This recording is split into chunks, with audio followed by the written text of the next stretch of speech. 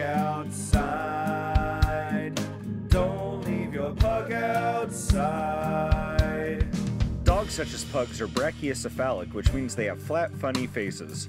Please don't leave dogs like this out for too long. They can't regulate their temperature well and will overheat quickly on hot days. Don't leave your pug